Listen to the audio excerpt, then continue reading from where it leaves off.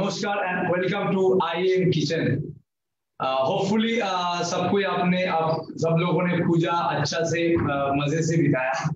सो so, uh, पूजा मतलब Durga Puja uh, Dussehra uh, मतलब बहुत सारा मज़ा घूमना फिरना uh, पंडाल में जाके दर्शन करना एंड उसके साथ ऑब्वियसली खाना पीना।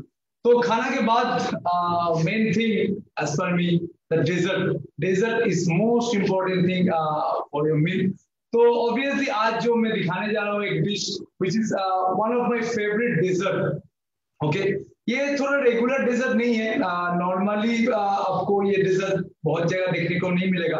But it is a nice dessert you can make in your home तो specially for the Diwali for for any occasion आप ये घर में ज़रूर बना सकते हैं.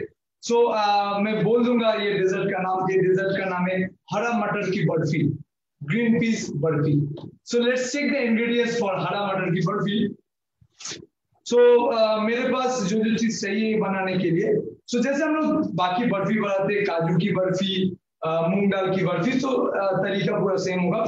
इंग्रेडिएंट्स थोड़ा अलग मेरे पास ये हरा मटर which is the green peas जिसका मैंने पेस्ट करके रखा जस्ट नॉर्मली इसको अगर फ्रेश ग्रीन पीस होगा तो उसको थोड़ा सा ब्लंच कर लीजिए इसके बाद पेस्ट कीजिए। अगर फ्रोजन ग्रीन की ग्रीन पीस आपके पास है तो इट इज़ ऑलरेडी ब्लंच तो आ, उसको डायरेक्ट पेस्ट कर लीजिए। बस पेस्ट करके टाइम पे ज़्यादा पानी मत डालिए क्योंकि ये हम लोगों को भूनना है इसको शेप का शेप में है। मेरे पास है थोड़ा सा खोया मेरे पास है थोड़ा आलमंड बादाम मेरे पास घी है थोड़ा शुगर है पाउडर शुगर एंड है किशमिश तो स्टार्ट कर देते ग्रीन पीस का बर्फ़ी तो ये बनाने के लिए सबसे पहले कढ़ाई तो चाहिए। कढ़ाई ले लिया मैंने। एंड ये पूरा बनेगा। ये जो बर्फ़ी बनेगा, बर्फ़ी का टेस्ट आता है घी से। ऑब्वियसली अच्छा क्वांटिटी में घी चाहिए। तो पहले सबसे पहले कढ़ाई लिया और कढ़ाई में दिया देसी घी। घी इसमें अच्छा क्वांटिटी में चाहिए, लेकिन हम लोग एक बार में पूरा घी नहीं डालेंगे। कभी भी बर्फ़ी बना रहे, हलवा बना रहे, एक बार में पूरा घी मत डालिए धीरे धीरे जब पकते जाएगा धीरे धीरे हम लोग घी डालते जाएँगे तो ये अच्छा से भून पाए सो ये घी गर्म हो रहा है धीरे धीरे जब तक ये गर्म हो रहा है बहुत ज़्यादा गर्म मत कीजिए, तब घी चल जाएगा।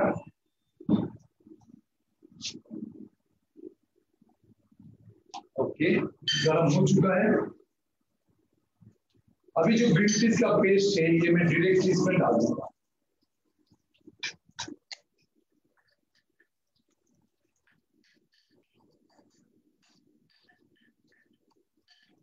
एंड तो डालने के बाद आज में बहुत देर तक भूनना होता आप लोग जो जो घर में डिफरेंट टाइप ऑफ़ बर्फ़ी बनाते या हलवा बनाते पता है आप लोगों को इसको कुछ देर तक भूनना पड़ता है एकदम स्लो धीमा आज में कि घी इसके अंदर मतलब घी के साथ ये धीरे धीरे धीरे धीरे भूने। और जो कच्चा बन रहेगा ग्रीन पीस का जो कच्चा फ्लेवर रहेगा, वो धीरे धीरे चला जाएगा और ये भूनते जाएगा।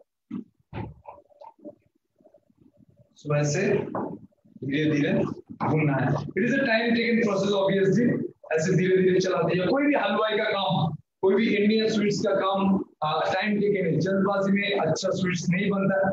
मेरे हिसाब से तो कोई भी खाना जल्दबाजी से नहीं बनता है। If you want a good food you have to give a proper time proper cooking time so आप लोग जैसे देख सकते हैं ऐसे ऐसे भूनते जाएगा।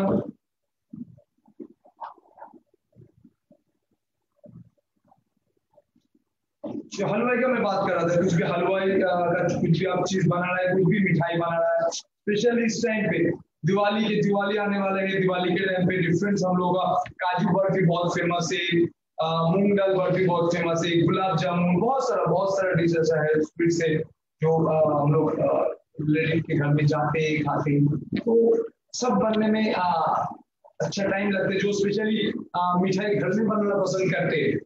घर में बनाते हैं एंड आस पर उसका कोई आता है या रिलेटिव आता है, उसको खुद का हाथ का बना हुआ मिठाई हम लोग जब साफ़ करते तो ऑब्वियसली तुम लोग तुम लोगों को पता है कि मिठाई ऐसे हलवा और बर्फ़ी बनाने के लिए पूरा टाइम देना पड़ता है। नाउ कैन सी ऐसे धीरे धीरे भूनते जाएगा। इसका फ्लेवर जो कच्चा फ्लेवर में जिसको बोल रहा था, वो धीरे धीरे ऑफ़ होते जाएगा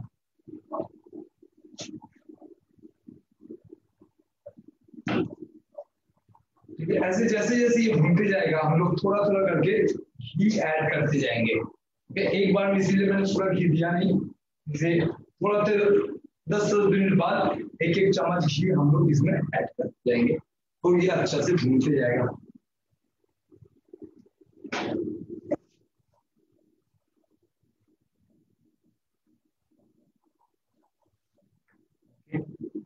अभी इसमें मैं थोड़ा सा किशमिश से देता हूँ। जो रेजिन से मेरे बस इसका भी मैं दे लेता हूँ। तो ये घी जो है, घी के साथ ये भी ऑलरेडी भून जाएगा और अलग से घी में भून के इसको आप लोग देख सकते हैं इसमें। देखिए, ये ड्राई होते जा रहा है। अब जितना भूनेंगे, ये ड्राई होते जाएगा। ये बर्फ़ी बनाने के लिए कुछ अलग से बाइंडिंग एजेंट देना नहीं पड़ेगा। तो से ये ऑटोमेटिकली ग्रीन फ़ीस से ही बाइंड हो जाएगा। तो जितना ड्राई होते जाएगा, जितना भूनते जाएगा एंड घी का फ्लेवर बढ़ते जाएगा। थोड़ा सा घी just half a spoon one one spoon ghee देते जाइए। एंड ये कुक करते जाइए।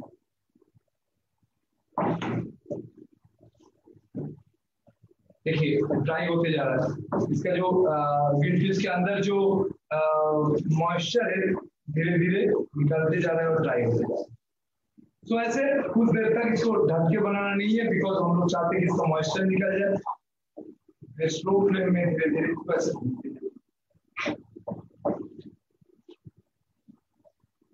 नॉन स्टिक पैन में बनाइए तो नीचे लगेगा नहीं। ऑब्वियसली घी लगने का चांसेस बहुत कम है। सो ये और पाँच से दस मिनट तक टाइम लगेगा इसके ऐसे ही भूनते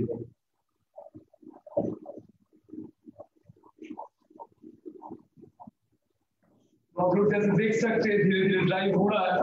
ऑलमोस्ट ये ड्राई होने वाला है। तो अभी मैं इसमें शुगर दे दूँगा। मैं यहाँ पे पाउडर शुगर यूज़ कर रहा हूँ। शुगर देने के बाद ये थोड़ा लिक्विड ही हो जाएगा ऑब्वियसली शुगर मेल्ट होगा तो। उसके बाद और थोड़ा देर तक भूनना है। शुगर का जो और और थोड़ा ड्राई करना है। मैंने थोड़ा शुगर यूज़ किया। इसको मैं मिलाऊँगा एंड शुगर डालने के बाद शुगर जब कुक होगा उसी इसका कलर चेंज हो रहा है धीरे धीरे और डार्क होते जा रहे हैं देखिए ये थोड़ा पतला हो गया हम लोग शुगर डाला इसमें हम इसको और थोड़ी देर तक भूनेंगे एंड भूनने के बाद इसको एक प्लेट में उठाने उठाने पड़ेगा उठा के उसमें सेट करके थोड़ा देर के लिए रेफ्रिजरेटर में रखना पड़ेगा गिव ए बर्ड और सेट तो ऐसे और हम लोग पाँच मिनट तक भूनेंगे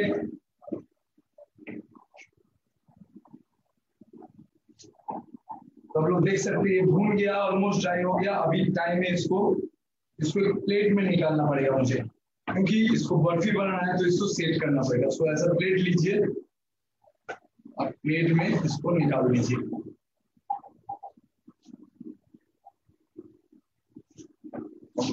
नाउ इसको ऐसा फ्लैट करना पड़ेगा। या हाथ में पानी लगा के या जो स्पून से कर रहा है उससे इसको फ्लैट कर दीजिए। आप लोग इसमें चाहो तो कैशू नट डाल सकते हैं, या और कोई ड्राई नट्स भी डाल सकते हैं। सो ऐसे ये थोड़ा ऊपर से प्लेन कर देंगे हम इसको।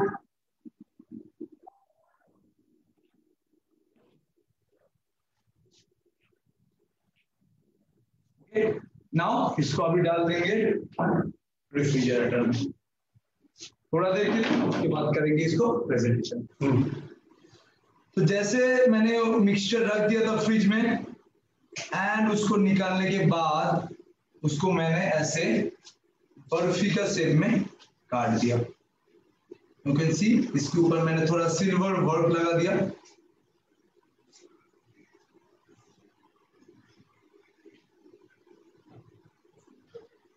ओके ये मिक्सचर सेट होने में कम से कम half an hour to forty five minutes लगता है।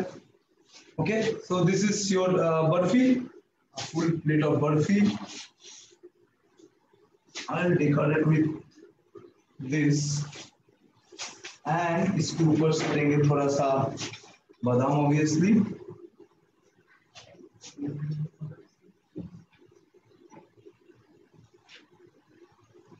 You can garnish with some grated khoya.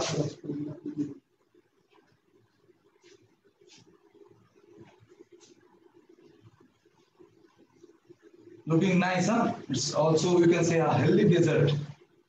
Green peas and all. So with that, we are ready. Our Diwali special or any festival special हरी मटर की barfi.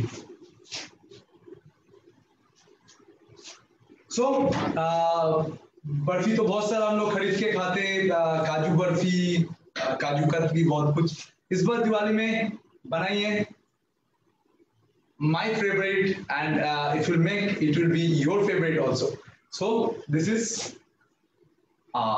barfi made of green peas हरे मटर की barfi. make it an end.